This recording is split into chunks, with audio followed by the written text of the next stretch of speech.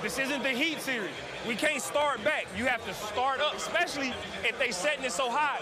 You start up and drop because we're chasing. Now he goes down. Marcus Smart is right. It certainly is not the Heat series. But what exactly was Marcus Smart talking about? What was Marcus Smart so fired up about being wired up in the microphone in the huddle at this particular moment? What Marcus Smart is talking about is the Celtics pick and roll defense, particularly their drop coverage and what needed to change. Let's break it down. Welcome back to the NBA Break Room. Coach Logan here, and let's break down how coaching adjustments made all the difference for the Celtics in game one, particularly their decision to switch their pick and roll coverage and go small in the fourth quarter. In this clip here, you're going to see Andrew Wiggins setting a ball screen for Marcus Smart. Robert Williams drew the assignment of Andrew Wiggins, and I think they did this because they wanted to avoid Robert Williams in as much pick and roll action as possible. We know Robert Williams, second team all defense, very versatile, very athletic, but his knee has been bothering him. It's very clear he's not 100%, and the Warriors look to exploit this. So in this first clip here, Steph Curry coming off of this screen, and you're to see right away, look how far off Robert Williams is. This is called drop coverage. And this is what Marcus Smart was so fired up about. In the Heat series, they were able to drop this far back because the Heat did not have the shooters that the Warriors have. However, against Steph Curry, you're going to have to be up much further than Robert Williams is in this clip. This gives Steph Curry all the time in the world to step up into a shot. In the second clip here, you're going to have Looney setting a high screen at the half court line or Marcus Smart. Marcus Smart actually communicates the switch. If you guys saw his hand went up, he's telling Tatum to switch, but it's a miscommunication. Tatum decides to leave the ball. You cannot leave Steph Curry past the half court line with the ball because he's able to pull up from anywhere. And this is just way too much space to give the greatest shooter of all time. And he knocks it down. Take a look at Marcus Smart visibly upset with Tatum because of the miscommunication. This clip here is another example. All of this happening in the first quarter miscommunication. Marcus Smart here, he's expecting a switch with Jaylen Brown. This is obvious by the fact that Marcus Smart decides to go under this screen. He's expecting Jaylen Brown to step up, and he doesn't. Once again, take a look at Smart, visibly upset with Brown and the missed assignment. This clip here is just inexcusable. You're going to have Jordan Poole setting a screen on Steph Curry. Take a look at Derrick White and Payton Pritchard as they both decide to go with the cutting Jordan Poole once again leaving Steph Curry wide open with all day to shoot. Best shooter of all time. You can't let that happen. Now we see Jayson Tatum guarding Steph Curry, and you're going to see Daniel Tice putting screen and roll. Once again, drop coverage going wrong. You have to be up much higher. You're dropping while Steph is at the three point line. It's going to be an open shot and it's going to be a make. An unintended consequence of the miscommunications is what you see on this possession here anytime you're guarding the ball in screen and roll, you're forcing him to the help. And the way the Celtics are playing defense, the help is on the other side of this screen.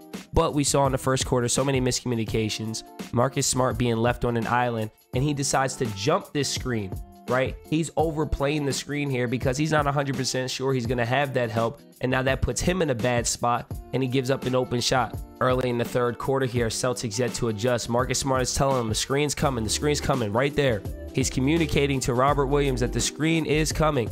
Robert Williams is playing in drop, still too far off for Steph Curry, and he knocks it down.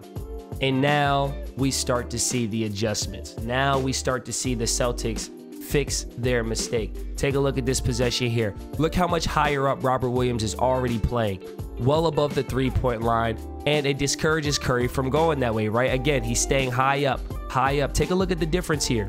Now he's able to actually contest and he gets a block shot. Take a look here in this clip. You have the high screen. He actually switched sides on the screen, which puts Horford in a tough spot here. But Horford is athletic enough, he's able to recover and force Steph to change directions. It's not always about, you know, shutting a guy down. It's making it tough. Like, look how much harder Steph Curry had to work on this possession because Al Horford is playing high, makes him change directions, forces a step back. Still an open shot, but he made him work for it. You see it again here on this clip. Looney setting the screen. Take a look at how much higher Al Horford is. That's going to take away the three point shot. White is also able to easily get over the top of that screen. Yes, he makes a tough basket. Yes, they get two points, but again, you can't shut down a Steph Curry. You just have to make him work for it. And early in the game, they weren't doing that in their drop coverage. They made the adjustment, and it was much harder for Steph Curry to get looks. Again, we have Looney setting the ball screen. Look how high Horford is, right? Playing much higher, playing much higher. Now Curry's not able to get the three, forces a tough shot in the lane. Going small was also huge, not only for the defense and having Horford be the defender in those pick and rolls, but also offensively. The Celtics are at their best when they can drive and kick. So when Horford is playing the five, look what it does to Looney. It pulls Looney away from the basket because the Celtics play five out. This gives space for Jaylen Brown to able penetrate, get in the lane. Look how much attention he's drawing. You got three defenders in the lane. Easy kick out to Derrick White, who knocks down the shot.